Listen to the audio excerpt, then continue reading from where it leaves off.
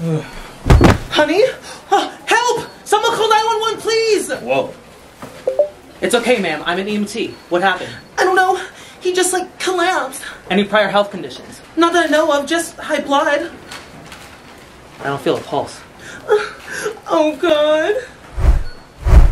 Okay, stand back. Stand back, everyone, please. Clear. Okay. Clear. What is it called?